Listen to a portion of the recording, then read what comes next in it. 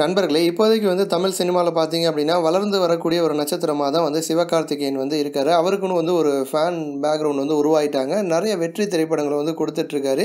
Cinema இண்டஸ்ட்ரியில் வந்து அஜித்துக்குன்னு வந்து நிறைய ரசிகர்கள் நிறைய நடிகர்கள் வந்து ரசிகர்களாக இருப்பாங்க. அந்த மாதிரி வந்து சிவகார்த்திகேயனும் தல அஜித்தோட தீவிரமான ஒரு ரசிகர். அப்படிப்பட்ட சிவகார்த்திகேயன் வந்து தல அஜித் கூட சேர்ந்து ஒரு படத்தில் வந்து நடிச்சிருக்காரு அப்படின்னா வந்து கண்டிப்பாக நம்ப மாட்டீங்க.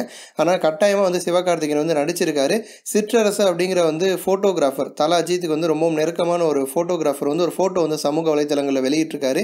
அந்த ஃபோட்டோவில் பார்த்தீங்க அப்படின்னா தல அஜித் மற்றும் சிவகார்த்திகேயன் ரெண்டு பேரும் வந்து நிற்கிறாங்க அது எந்த திரைப்படம் அப்படின்னு பார்த்தீங்க அப்படின்னா ஏகன் திரைப்படத்தில் தான் அந்த காட்சி வந்து எடுத்திருக்காங்க. ஏகன் திரைப்படத்தில் வந்து அஜித் சிவகார்த்திகேயன் ரெண்டு பேரும் வந்து ஒரு சீனில் வர மாதிரி வந்து காட்சியை முதல்ல வந்து எடுத்தாங்களாம். ஆனால் வந்து துரதிருஷ்டவசமாக பார்த்தீங்கன்னா அந்த காட்சி வந்து படத்தில் இல்லை கட் பண்ணிட்டாங்க.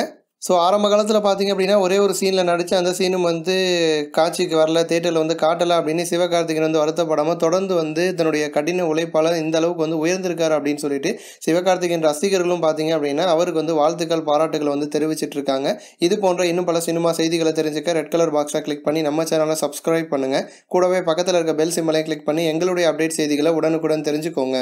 நன்றி.